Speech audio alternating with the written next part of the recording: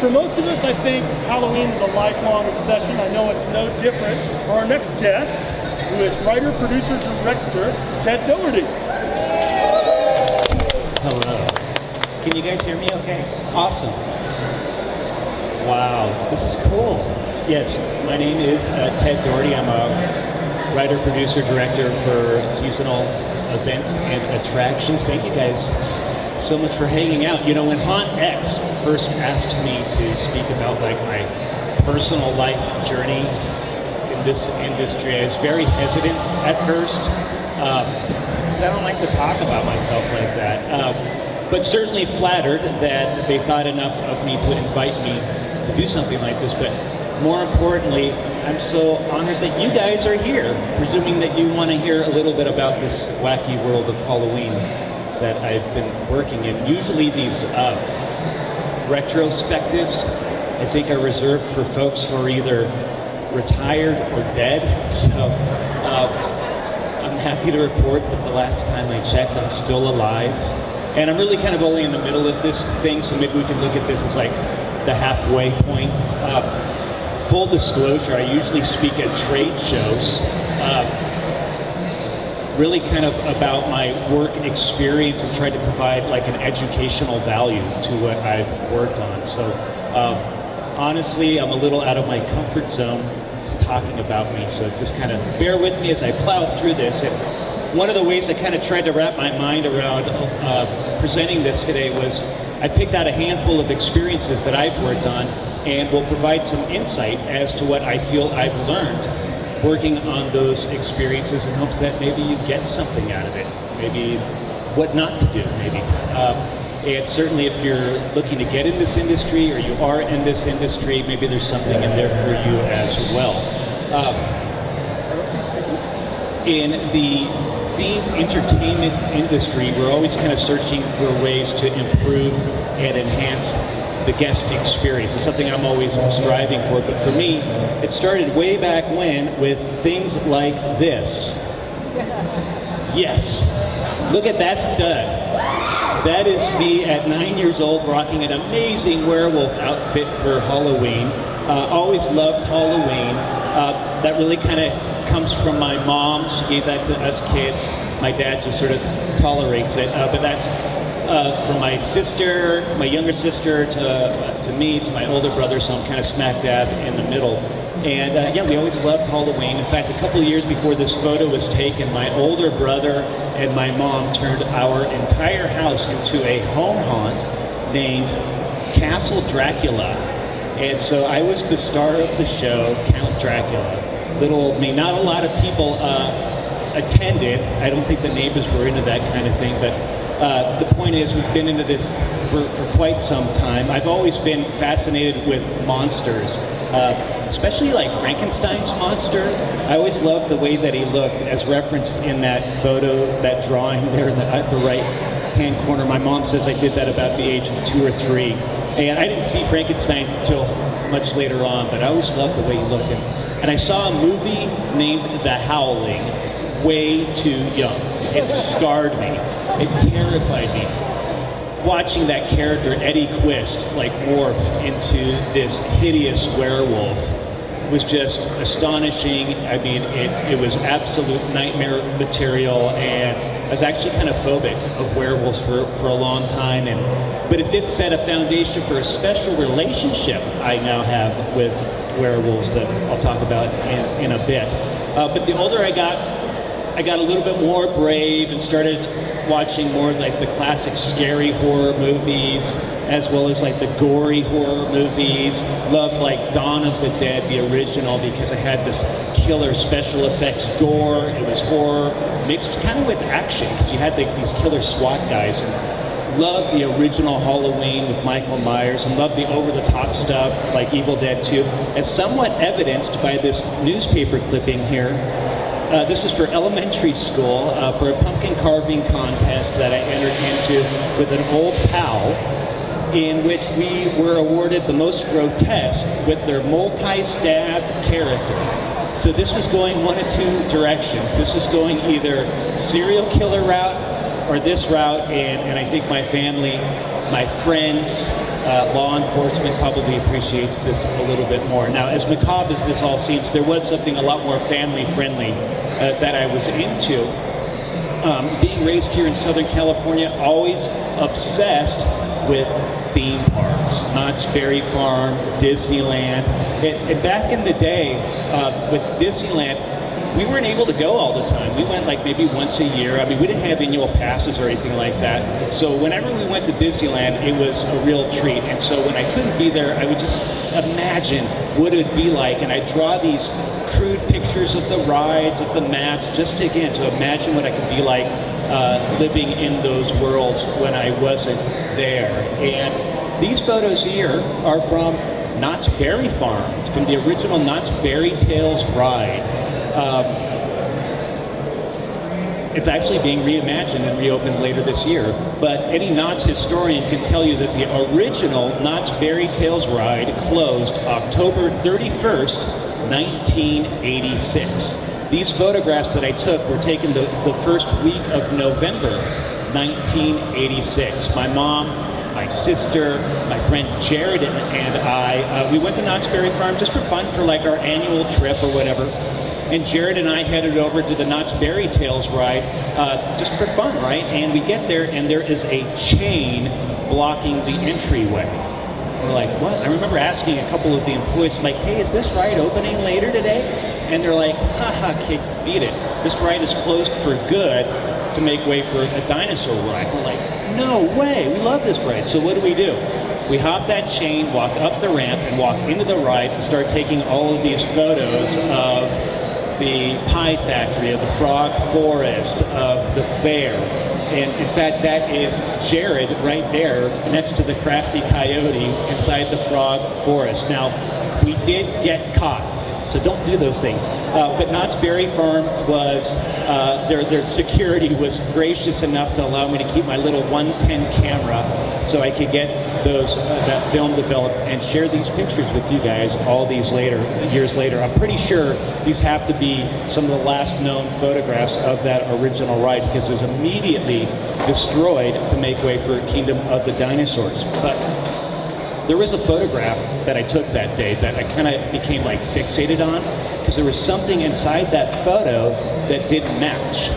It like I'm like, what is that doing there? Like I barely even remember taking the photo, but once I got this film developed, I'm like, that does not match this happy-go-lucky Knott's Berry Tales. And I'd ask like friends, my mom about it. I'm like, what's this doing in there? And they're like, I don't know. But I remember asking Jared's dad, and I handed him the picture and I said, do you know what this item is doing inside the Knott's Berry Tales ride? And he took the picture and looked at it and said, oh, that must be for their annual Halloween event. And I'm like, their what? I'd never even heard of it. Well, the following year, October 1987, I attend for the first time and discover something named Knott's Scary Farm. And I remember going through the main gate of Knott's Scary Farm, and we headed toward Ghost Town. Kind of went to the right. We went down Market Street, if you guys know where that is. And by the time we got to the general store, I ran inside to escape from these sliding monsters attacking me. I was petrified. I'd never seen anything like it. But I quickly gained my composure, braved going back into the midway, and then we went through the haunted shack, the mine ride, and the log ride that night. And that was my first experience at Knott's Scary Farm. But the following day, the subsequent weeks and months, it really stuck with me. It had an emotional impact on me because it terrified me so much. But it had all of these things that I absolutely loved. It was a theme park. It was monsters it was Halloween. So that began my love affair with Knott's Scary Farm, and I have attended religiously every year since. Um, these are some photos with me and my pals, my crew who would go to Knott's Scary Farm with me every year. By the late 1990s, um, something named the internet became a lot more readily available for the average consumer, and I got myself a big old gateway personal computer so I could browse the World Wide Web and search for things that I liked. And so I would search for Knott's Scary Farm stuff, but there really wasn't very much out there. And Uh, one of my friends who I'd been going to Knott's Scary Farm with all those years, a guy named Mark Mark, who's actually in that photo to your right, but he's all the way to the left with that like washed out denim jacket. Uh, he grew up to become a professional web designer right there in the middle of that internet boom. And I remember telling him, I'm like, Mark, you know, there's not a whole lot on the internet about Knott's Scary Farm. I took all of these old pictures and I kept all the old maps. Why don't we make a website about it? And he's like, sure, that's a great idea. And so that was the birth of a website named ultimatehaunt.com. And so uh, this website launched in April of 2000. And uh, Ultimate Haunt is actually short for the Ultimate Halloween Haunt Experience. Anyways, uh, in addition to those photographs and those maps, we started connecting with fans from around the world. One of those fans I became very good friends with named Uncle Mike Hansen. And he had been going to Knott's Scary Farm since the very first year in 1973. And I had always been fascinated with what Knott's Scary Farm was like before I started going. But Uncle Mike is a weirdo like me, and he kept all his old pictures and maps too. So we published an interview with Uncle Mike so that way he could share these stories and share these pictures with folks. And so all of a sudden, the website became more of a resource and it became very popular very quickly. In fact, Knott's didn't even know how to handle it at first because they'd never seen anything like this. This is way before like social media or anything like that. Um, and this website was getting way more foot traffic than their official website. But we developed a very good relationship that has lasted to this day. And I remember one of the first things I asked of them is if they would allow me to interview a couple of their employees a couple of their actors for monster interviews. And so um, I remember having a conversation with my mom, just kind of brainstorming about like what this website could be. And I, I remember saying, I'm like, Mom, how cool would it be if I could like interview one of the actors, one of the monsters? Because I'd always kind of wondered what it was like to do that, and I never talked to them, and they never talked. Like they were like ominous and mysterious and freaking scary. And so my mom said, yeah, you should interview them, but while they are in character. And I thought, that would be kind of interesting. That'd be cool. Like, yeah, what do these monsters do when they're not at Knott's Scary Farm? And why are they scaring at Knott's Scary Farm? And so I approached Knott's with the idea, and they approved it as long as they could review every interview before I published it, which I, let them do. And I remember the very first actor that I interviewed for this, we kind of prearranged it, and he was a long time Ghost Town veteran. He knew everything about the monsters, about Knott's Scary Farm, and I emailed him these in-character questions for the interview. And his initial response was, I don't know the answers to these questions. I've never thought about it. Let me get back to you. And so he did, and so we started posting and publishing these in character monster interviews. But elsewhere, concurrently on the website, we had something that's not really around very much on the internet, but they were popular back in the day, named a message board. So we had the ultimatehaunt.com message board, and so this allowed fans from around the world to communicate with each other about their favorite Halloween event. But also posting on the message board were like employees, but they were like talking about like chicks that they were picking up on at Knott's Berry Farm or having like coffee breaks at the backstage cafeteria, sometimes trade secrets. So that really kind of conflicted with those in-character monster interviews that we had elsewhere on the website. So we needed to clean that up. So I made a rule that if you're an actor and you're going to post on this message board, you needed to do so in character. And so they did but they were all over the place because you had all these maze monsters, you had all these different scare zones at the time, and there just really wasn't a lot of continuity. And so I wrote a backstory, a fantasy of Knott's Scary Farm named The Haunt Vale. And all that really was, was taking some old Celtic folklore um, because my roots are Irish, and so I kind of knew a little bit about that stuff about the veil between the living and the dead being the thinnest that time of year. And I mashed that with some of the content found in the old witch hangings about a woman accused of witchcraft named Sarah Marshall, who we'll talk about in a little bit.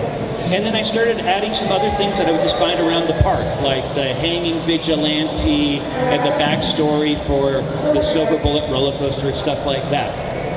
And so that worked as the foundation, as the blueprint for the actors to follow while they were posting in character on the message board to kind of create continuity. So then it became the actors creating their own backstories for their characters. That had never been done before in a public forum. Knott's Berry Farm never provided that information to people. Knott's Berry Farm provided people with a mask and a costume and said, go scare people but it was the actors creating their own backstories and their names for their characters. And so that information started to kind of spread almost in this like tribal way from one generation to the next about this Haunt Vale story unofficially within the monster community. And that continued at Knott's Berry Farm for nearly 20 years and continues to this day in the scare zones.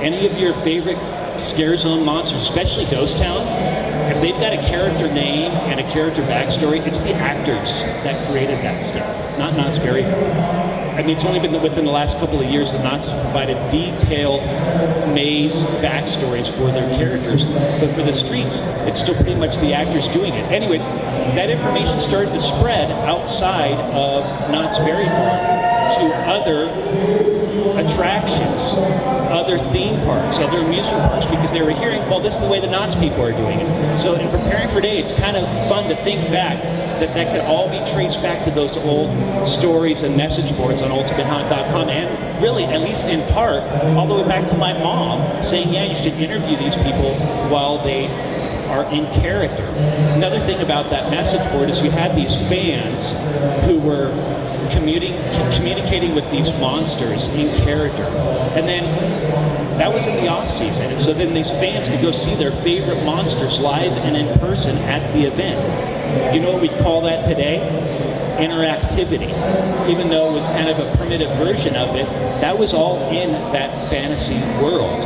Uh, we had all kinds of fun things on that website. More history, games. We had a lot of online contests. Sometimes the grand prize winner would become a Knott's Scary Farm monster for a night. So this was like sponsored by Knott's. In, in, fact, all these photos here are some of our winners with the monsters that they worked with.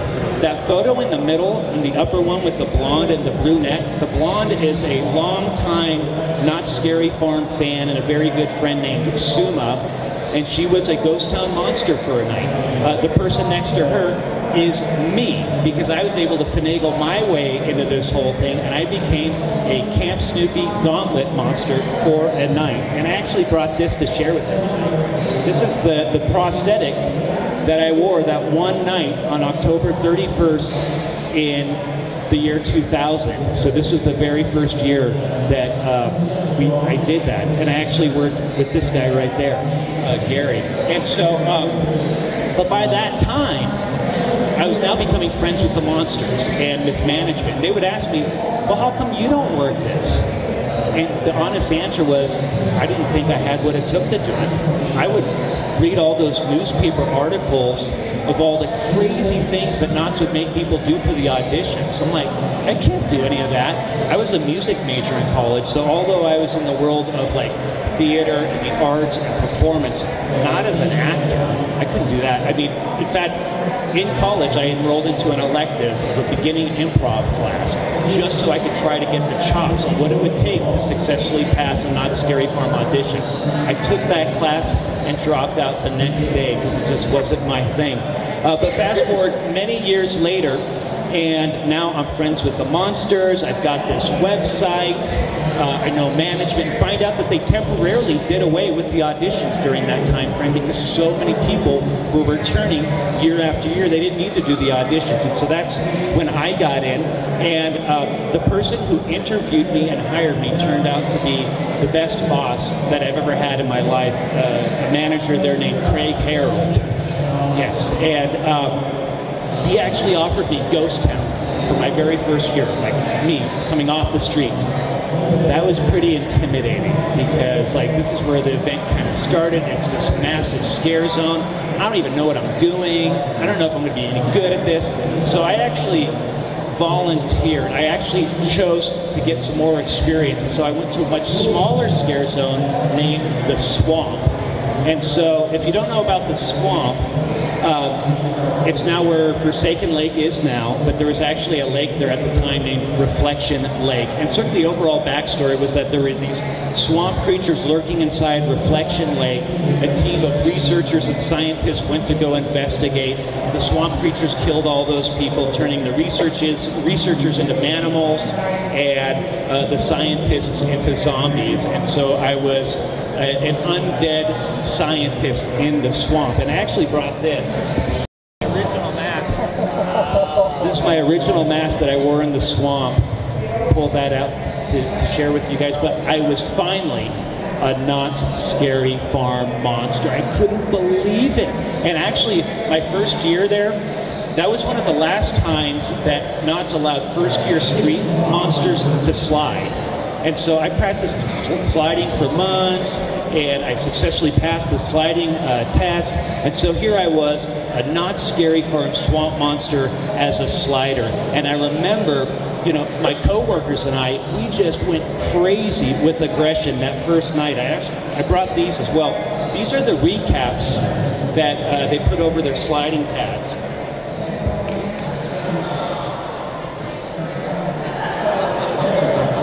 So these are my recaps from my very first night of my very first year ever working Knott's Scary Farm.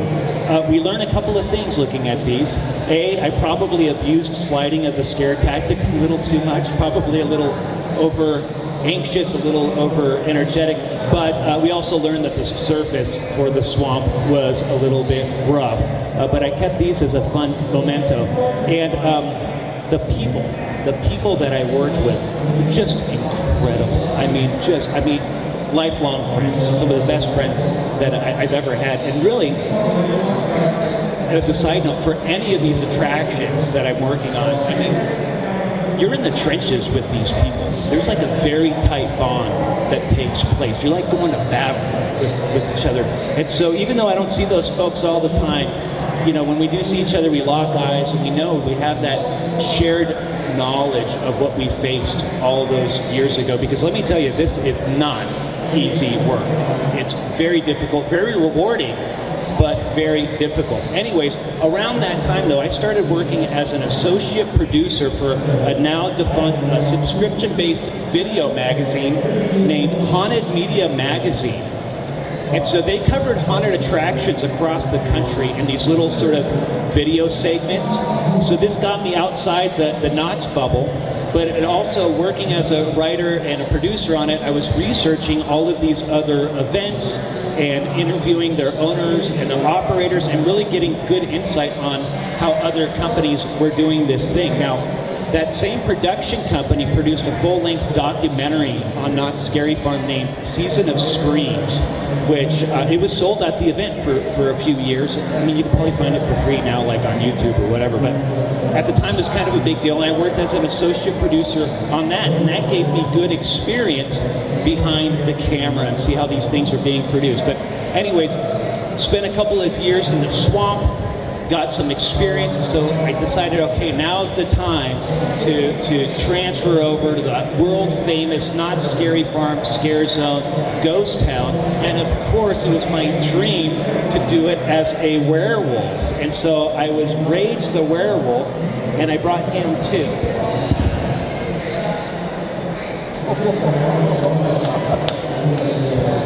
So that's my original Rage. I loved Rage so, so much. He was so unlike me. He was super witty, he was super high energy, he was like totally aggressive, and he was just awesome. But here he was now walking the same streets as all these people that started this event so many years before. So it was a real big honor for me to do that. And then in 2005, I took a little sidestep. I volunteered to help uh, debut a new scare zone that was coming into the event named the Silver Bullet Mine Town.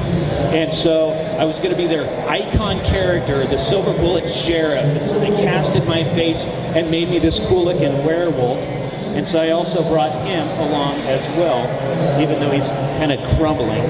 But this was an opportunity to kind of work more with like marketing and see how they're doing their things. So here's one of the prosthetics from the Silver Bullet Sheriff back in the day. And uh, yeah, it gave me more exposure to marketing and really see how they're doing their things. And around that time, though, the higher ups at Haunted Media Magazine kind of dissolved, and so they parted ways. And so one of them, one of the founders, started his own production company named. Uh, he's named David Love, and he started a production company now named Hollow Studios. And so uh, through them, I started to write produce and direct 4D ride and attraction films.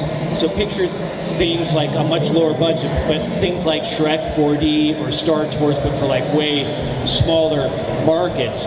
But that got me to that gave me exposure to the themed entertainment industry, to the amusement park industry, which is a lot different from the haunted attraction industry, and it also taught me how to engage guests through use of comprehensive storytelling. Each one of those films have their own story, a beginning, middle, and end that takes place in a very small window of time. So that's a skill that I learned then that I still use to this day, and I still work with Hollow Studios. Anyways, I spent that time as the Silver Bullet Sheriff that one year. I wanted to come back home to Ghost Town and come back to my beloved Rage. And so I kept that prosthetic. And so I was like Rage 2.0 now with that cool little prosthetic. I brought a Rage prosthetic. It's basically the same thing minus the hair. So here's the Rage prosthetic. And so, anyways, here I was, Knott's Scary Farm, Ghost Town, Slider, a werewolf, to a prosthetic customized to my face. That was it. That was the, the peak, the pinnacle. And that's how I finished my years working at Knott's Scary Farm. And I loved every single second of it. I adored the people that I worked with. So, let that be a lesson to you. If you're looking to get into this stuff, do it. Don't be like me, who was too afraid and too shy to audition. I wasted so many years because I was too afraid to audition. I deeply regret that. Be brave. Just step to the ledge and jump off. If you don't get it, just do it again. You're gonna, you'll get it. So, anyways, that was my time at Knott's Scary Farm. I loved it. And toward the end, though, I started getting a little bit more involved with the backstage stuff. I started conducting scare school, training monsters, training sliders, kind of see how things are on the inside. And also, working there gave me real world practical experience on how guests react in these types of experiences. I mean, over the years, I engaged with thousands and thousands of guests to really kind of study how they behave in these attractions. So I thought, well, geez, I wonder if there's something I can maybe do with that one day. But first, I took a detour. Uh, toward the end of me working Knott's Scary Farm, there were rumors that Cedar Fair might be sold. And if that happens, what happens to Knott's Berry Farm? What happens to our beloved Knott's Scary Farm? And so, even though I had history outlined on the website and on Season of Screams, there were still some huge missing puzzle pieces in the event's history. And so, before this gets sold or who knows what's going to happen to Knott's, I'm going to buckle down and I'm going to document the heck out of this thing. And I really realized quickly that this is not all going to fit on a website. So I'm like, you know what? I'm going to commit it to myself and I am going to write the history book on Knott's Scary Farm, which I did. And it took two years of intensive research, uh, 80 interviews of, of past and present employees, hours and hours on end spent like at libraries, going through microfilm just to find anything, anybody that had to do with this event. No stone was left unturned. But luckily, Knott's Scary Farm is still here for all of us to enjoy. And luckily for me, I got blessed and had a little bit of success with this book. I got to do all types of appearances and signings, and this was great because I could meet with the fans, these fellow fans, and share this passion with them because the book is for them. So that way they don't have to wonder what it was like before they started So that was a lot of fun. I also started doing haunt history tours on site. This was through Knott's. And all this was was a, a way to, to kind of share some stories revolving around locations still present at the park. Stories about the event's history. I worked there. I knew exactly the relevance of these locations and how important they were. So that was an opportunity to share those stories and kind of expand on things outlined in my book. But by this time, though, this book started to get into the hands of other companies. And they're like, wait a They said, here's a dude that knows like a ton about this world famous, very successful event. He's worked it. He's trained their people. He's produced some things. Why don't we give him a call and see if he might be able to help us? And so I started working with some other smaller companies helping them do their things. But one of the first companies I actually helped was Knott's Berry Farm themselves to help reima- reimagine a classic maze from the 1990s that was coming back for the 40th anniversary named Dominion of the Dead. And so I worked with their designer who's a beautiful, wonderful, one of the most talented people I've ever met, Catherine White. And she was the designer of the original Dominion of the Dead. She was brought back to design this new version. And all it really was was taking my passion for classical symphonic music, matching that with her passion for contemporary and fine art, and then our shared passion of these ruthless, super dangerous gothic vampires. And that was the basic premise. But I was working with Catherine on another concept for Knott's Scary Farm that year. And this was for uh, a small little merchandise area to sell this book and to do book signings. And we were going to put it in a very large building, which was the livery stable. Uh, I think it's the toy barn now, the craft barn now, uh, but it's there at the end of, of Main Street. The reason we wanted this smaller merchandise area was because wrapped around the sides and back inside this large building, we conceptualized a scare experience exhibit named the Haunt Museum. Now, if you went to Knott's Scary Farm that year, you know there was no scare experience inside the livery stable. Uh, the reason I'm sharing that with you is because for everything that I do that actually makes it to the light of the day, there's dozens and dozens of things that never, never make it. Uh, but anyways, Catherine got pulled into some other projects. Another super talented guy, great friend of mine, another designer at the time named Todd Fox, took over the idea of this haunt exhibit, this haunt museum.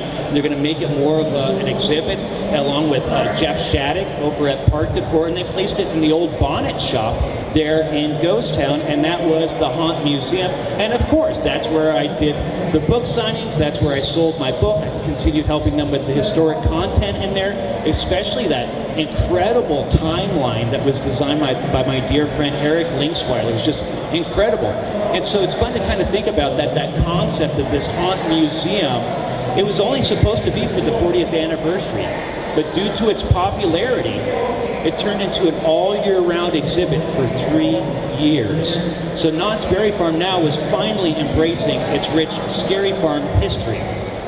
But around that time, though, other companies started to knock, and so that's when I started working with Universal Studios in Hollywood for their Halloween Horror Nights. Uh, very blessed to have been the first outside person, I think the only outside person that they've actually publicly mentioned to work in a creative capacity with their creative director, John Murdy, and art director, Chris Williams. And the first thing that we tackled was their attraction named the Terror Tram. And so this was for the Purge Terror Tram. And so I've been very familiar with what they've done in the past, Terror Trams, in terms of their pop outs and scare stuff. So we wanted to do something different. So I spent days out there at the back lot with John Murdy and Chris, and we are just kind of sharing scare philosophies and ideas and like what can we do with this thing. And the thought occurred, you know, if the purge were real, what would theme parks do? Would they build like a huge fence like around their park so people could go in and destroy everything? Or would they embrace it? So we really kind of like the idea that maybe Universal was like a proud supporter of the Purge. And so the basic premise was this is going to be Universal Studios' first annual Purge party. And people could get off the dangerous streets on Purge night and party the night away in, in, in the safe confines of the world famous Universal Studios backlot. They could watch live video feeds of purging, food and drink, patriotic sing alongs, and just an all around wholesome good time. And then once they load into the tram, the tram takes off, there's no turning back. Well, then that's when they find out the whole thing is a massive ploy. The Universal frowns upon the cowards who fail to take part in their patriotic duty and purge. So, in turn, these guests in the tram are going to be purged themselves. Lambs led to the slaughter, and that's what's waiting for them at the back lot.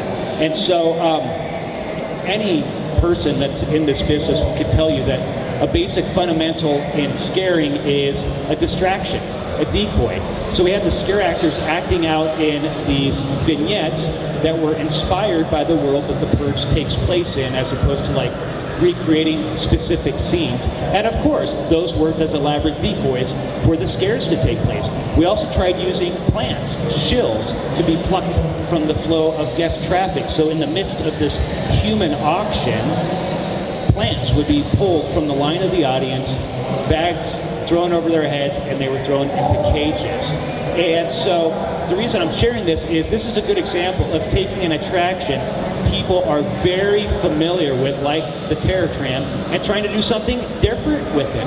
Because what we're trying to do with any of these things are to create positive memories, even if it's a, a creepy memory, to try to create a lasting impression, because this is the entertainment business part of that business relies on repeat customers. And so we really try to create these experiences that entice guests to want to return. So I worked with John Murdy on that, writing and scripting and doing audio, training the monsters, all kinds of stuff. And I also worked with them on their American Horror Story attractions and Ash versus Evil Dead. And so for any of this stuff, it's just a ton of writing, a ton of research, and really in that moment of time when I'm working on that, you become an expert in that property. So I'm always going to have a soft spot for things like The Purge and American Horror Story. I mean, I grew up and still am a die-hard fan of Evil Dead 2 and Army of Darkness. So to work on Ash versus Evil Dead one of my favorite horror icons ever. That was like a dream come true. It was just incredible. So what I've learned to, to do is to try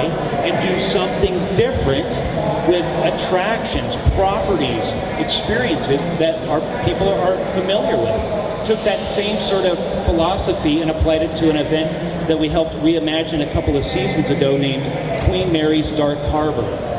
So this was with attraction designer John Cook, and uh, he was named the new art director, lead designer for Dark Harbor, and the idea was to reimagine it. He designed it. We worked on the creative together. I wrote it, and, and one of my favorite ones was is a maze named B340. And so B340 is supposed to be the most haunted stateroom on board the Queen Mary. And, but the attraction revolves around their character named Samuel the Savage, who reportedly murdered several people on board the Queen Mary back in the 1940s, and he supposedly died in that stateroom. And so before we got involved, this maze kind of explored Samuel's psyche and went through his brain and his childhood, I guess to kind of establish why he became savage. But we wanted to go with more of a direct angle. And so we wanted to really take advantage of that beautiful interior on that incredible historic ship. So we set this whole thing in the 1940s in this kind of film noir type of way as we followed this hard-nosed, gumshoe detective who is investigating these brutal crimes and the horrible things that he finds along the way. And so we applied that same sort of storytelling strategy to all of their attractions, as well as last year to Lullaby and a new maze named Rogue, and then as well as to all their attractions at their new sister event named Dark Horizon that debuted uh, in Orlando this past season. And so, um, what I've learned from a lot of these things is adaptability, being able to adapt the narrative to fit within the given parameters. Doesn't matter if it's a movie property, if it's a ship, an attraction, doesn't matter. Being able to kind of edge that story into the given guidelines, being extremely proficient in that is absolutely mandatory. And so, thankfully, over the years, that's a skill that I've developed, and these stories have to be easily digestible for the audience. And so, that's something that we tried to do uh, this past season on another event that we helped reimagine named the Los Angeles Haunted Hayride. I love that, that, that cool marketing photo of that werewolf, that biker werewolf. And now that you've known me now a little bit, you know that's me in that crazy costume because any chance I can be a werewolf, I'm going to take it. Uh, but anyways, we try to do something different with this event, uh, something unique to the Southern California market having the entire event revolve around one centralized story. That story is about this strange town named Midnight Falls. And it's strange because it's always Halloween night. It's always celebrating its 13th annual Halloween festival. It's always 1985. And so there's a lot of strange and scary things going on around this town. And one of the ways we tried to get that narrative across was through use of roaming characters on our open midway portion of the event that we called Town Square. And so we knew that we wanted these characters to be creepy, but we did not want them scary because we knew that if they were going to be scary, the people would run from them and not engage with them and not take part in any of this narrative. So we wanted this this group to be uh, engaging and creepy. And so what I've learned with a lot of this stuff is to trust in the system that we put in place, trust in our casting, trust in our training, trust in the actors, trust that I've given the actors the tools necessary to help bring these characters to life. And so I think we're very fortunate with these actors that we casted for, for Town Square because they were really well received. I adored them. I thought they were really fantastic. And so it was, it was killer to watch them bring those characters to life to one attraction that we worked on this past season, again with John Cook at Knott's Scary Farm, named Origins, The Curse of Calico. And so this is the backstory of Knott's Scary Farm's Ghost Town. And now that you've been hanging around with me for the last few minutes, you now know how big of a deal it was for me to be able to work on this. We had John Cook's incredible set designs. We worked on the creative together. I wrote it, and it's like, oh my gosh, wow. I can go full circle now and revisit that old Haunt Veil story written on UltimateHaunt.com nearly 20 years ago. And so when they approached us with, it's like, oh my gosh, here's the chance now to take that old unofficial story, fine tune it, and make it the official story of Knott's Scary Farms Ghost Town, which it is. It tells the story of, of a woman accused of witchcraft named Sarah Marshall, a botched hanging, and the curse that she places on these calico citizens, turning them into these horrendous creatures. And so just writing this was just fantastic. But what was really miraculous is watching all of the teams of people coming together to bring this to life. I mean, everybody from merchandise to marketing, all the way up to the like the media guys was just was so fantastic as well as all the people that were like building it, the carpenters, the lighting, audio, effects, on and on, and on. The painters. I mean, I think a lot of these people kind of grew up with that unofficial story, so you really got a sense that there was like this shared mission to tell this story right. And and let me tell you, none of these things are about one person. It's about these teams of people working together to create this vision. And wow, the actors I thought were really incredible. I mean, they did a fantastic job in bringing these characters to life. And I mean, I really do believe that these theatrically driven experiences fall back on the actors. We can have the best sets in the world. We can have the best set designs. We can have the best story. But if you have the wrong actors doing the wrong things, this could fall seriously flat. Uh, luckily for us, though, that didn't happen in Origins. I thought they did a really great job. And really, I mean, anytime I'm writing these things or directing these things, I really do in my mind kind of revert back to my days as a Knott's Scary Farm monster. So that way I can really treat the cast and the crew with the utmost respect and honor that they deserve because this is not easy. And so it's my job as the director to give them the tools to succeed. And I mean, I don't want to get all like philosophical about it, but isn't that what we're trying to do anyways in life? Lift people up and help them succeed. Because if they succeed, I succeed, the vision succeeds. I'll talk about success in a second because I think everybody kind of has their own sort of definition of it, whether or not it's fame, fortune, Instagram followers. I kind of like to look at it in a different way. Uh, I, I did not take this photo, I just found it on the internet, but I really liked it because we can't tell if we're looking forward or if we're looking behind us. And kind of prepping for today, I thought it's been, it was a lot of fun to kind of look back in the rear view mirror on some of this stuff because really, uh, I think it's important to respect and honor the past. It's made me who I am right this second. But in this business, we always have to keep moving forward. These attractions, they're seasonal. They come and go in a flash. And so we have to always be going on to the next thing. And I kind of wanted to figure out like how I wanted to conclude today. So I wanted to leave you guys with a quote that means a lot to me. It does address success, and I agree with it. It just says it a lot better than, than I can. Uh, if you're not in this industry, hearing this quote will probably give you a little bit of an understanding on where I'm coming from. If you are in this industry, well, maybe this quote will help you as much as I hope it has helped me. Uh, I do believe that these uh, experiences that I work on are forms of performance art. They are art pieces.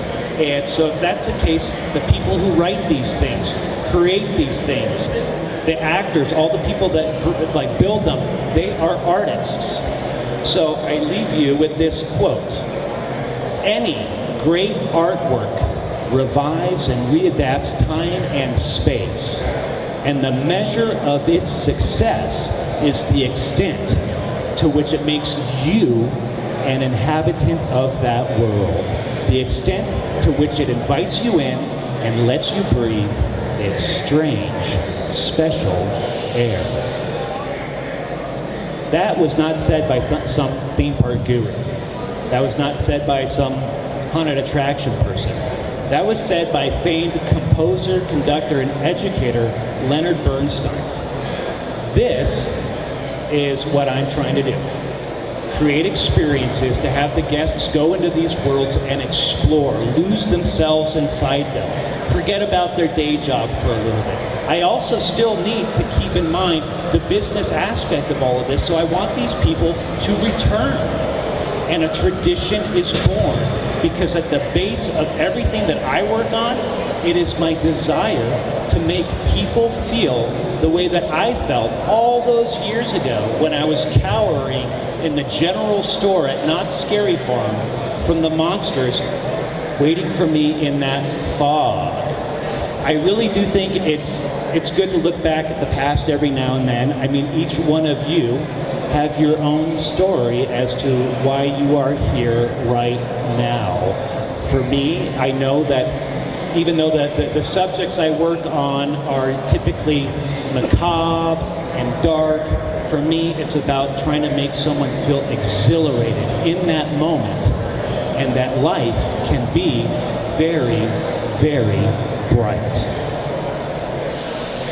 Thank you guys so much. It's been a pleasure, an honor. Thank you guys. Come introduce yourself if I don't know you so we can become friends. Thank you guys. Have a great day.